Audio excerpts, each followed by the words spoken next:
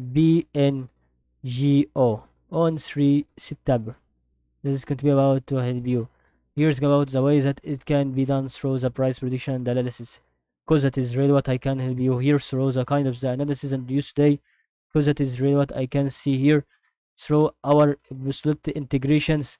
Everything that you need, everything that you want here is going to be really the side of the movement is really determining what is happening. How can this be through our absolute price prediction and analysis that can be done through if you think and if you see that is really needed. By a lot of types that it can be through this.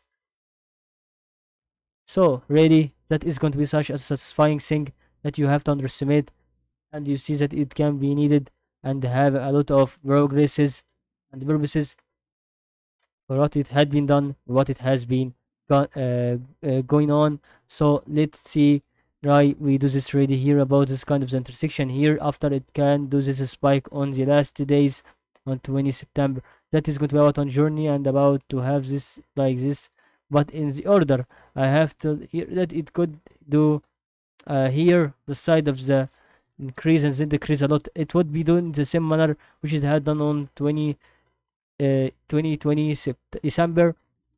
And then it can be increasing here because it is a side of the thing that is going to be satisfying for always that it can be done.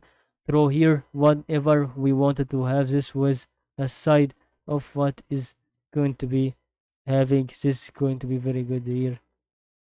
Whenever we want to do this with a side that is very good here as you think and as you can see and uh, still has very good opinion about it is happening. Thank you for watching